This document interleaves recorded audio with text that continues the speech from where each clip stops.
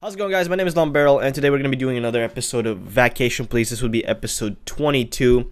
Now before we just begin this, I want to know if you guys would like to see a Road to Global Elite type thing. Now the reason why I'm asking you guys is because as you can clearly see this is not my account and my personal account is obviously unranked because I haven't played matchmaking in so long. So I really want to ask you guys, would you guys want to see a Road to Global Elite where I do my placement matches and then obviously go on you know, to try get to global elite. Or maybe if I get another account with a silver one rank and then try to go from silver one to global elite that way. Uh, I'm not sure which one I'm gonna pick yet. That's all gonna be on you guys if you guys even want to see this series.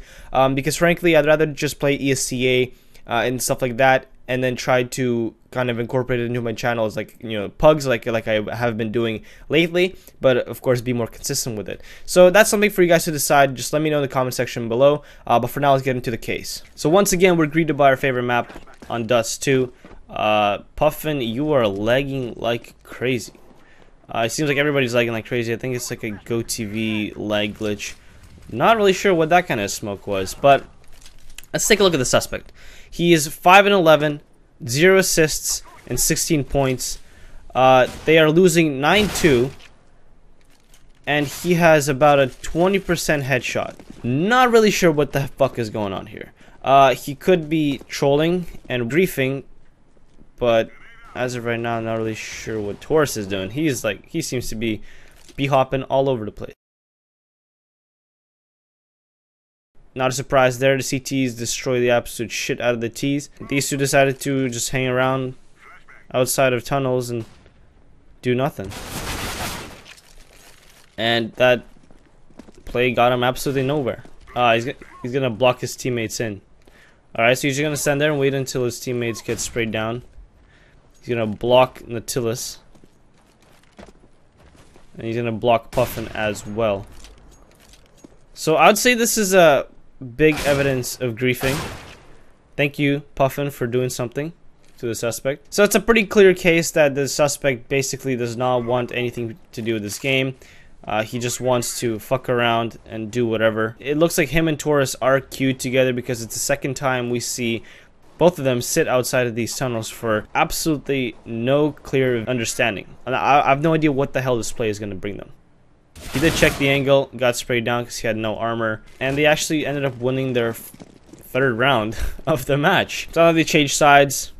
I'm not really sure what I'm going to see here because the suspect is he's very useless in this game. It looks like him and Taurus are just butt buddies for life. And uh, obviously, no surprise, the T's already got positioning of B. Now they're pressing the CTs, and they got an easy round. It's just a complete shit show of the um, enemy, and you can see Taurus is griefing. I wish you could report Taurus as well. I mean, if I could just click on his name, I would click report for griefing. But, um, yeah, it looks like this is not a great game for the CTs because they have two absolutely retarded griefers on the team, and that's why I'm doing this case, so I can put this griefer to rest. Uh, this is absolutely ridiculous. I hate people that do this. Uh, but Puffin, he's part of the problem as well because he probably gave up as well. He doesn't want anything to do with this, but just to throw the game until the game is over. So insufficient evidence about aim assistance, insufficient evidence for vision assistance, and obviously other external assistance. I didn't see anything of that sort.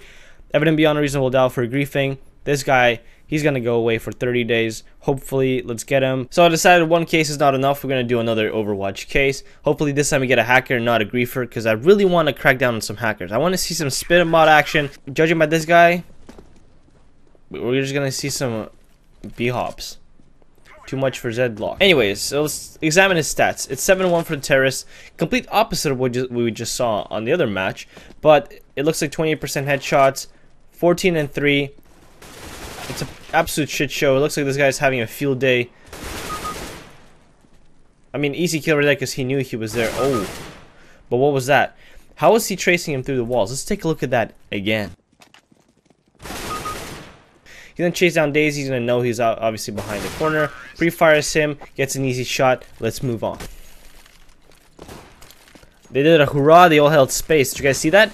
I urge you to try to this in your own match. Next time you're playing CSGO, convince your entire team to hold space, and when the freeze time timer reaches zero, you're all gonna jump up and you're gonna be looking like absolute pros. It's gonna be like a last hurrah type thing.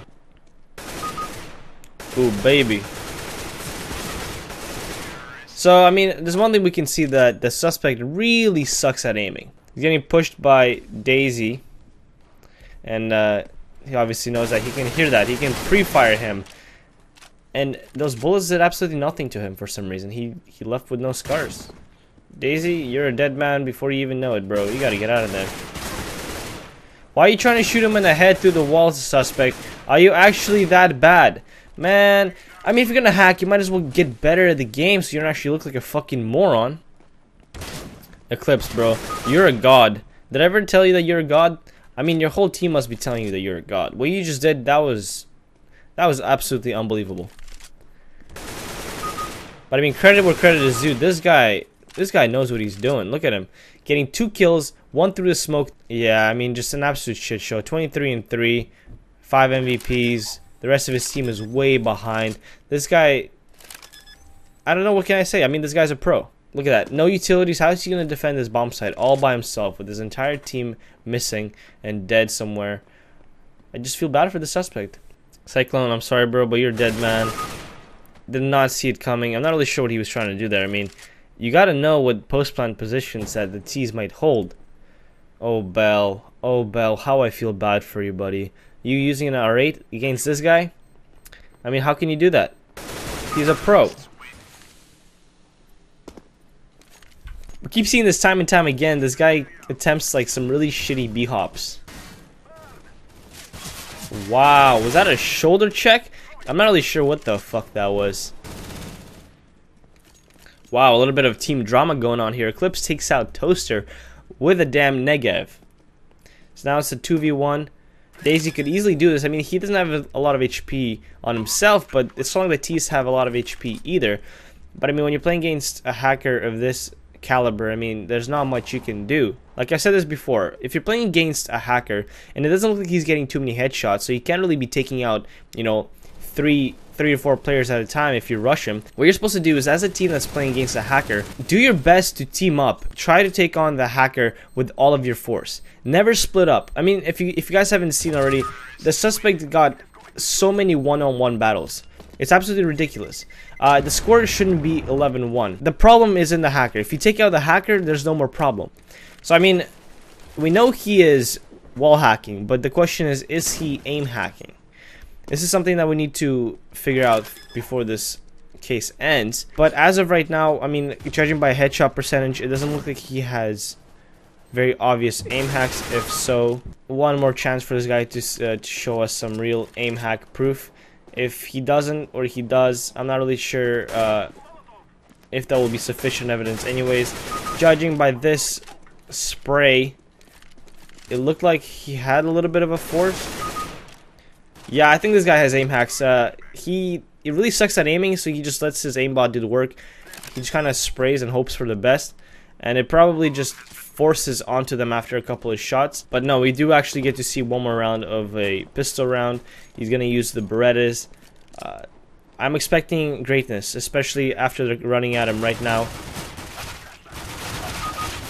There you go, guys. See, that's what I'm talking about. If you run down a hacker, I mean, they still lost, but that doesn't matter. He took out one player, and the rest of them were able to kill him. After which, you can obviously get good post-plant positions and hold after his entire team comes in to retake. At that point, it should be a lot easier because you're not playing against a, a guy that, that knows where exactly you are at all times. So anyways, I hope you guys have enjoyed my little tips of how to deal against a hacker. That's some things to avoid is to never be alone. If you can always trade, that will be the best option. Never commit to a fight if you know it's the hacker and never chase him down unless you have a buddy or at least a couple of buddies with you. Anyways, so aim assistance, I think we were able to conclude that this guy has aim, some sort of aim, aim assistance because he's really bad at aiming, but he seems to be getting those kind of nasty headshots, which don't really seem plausible in a live match situation if you're using legit um, systems. Anyways, evident beyond reasonable doubt for aim assistance, vision assistance. It's it's not it's a no brainer. This guy was using some sort of wall hack.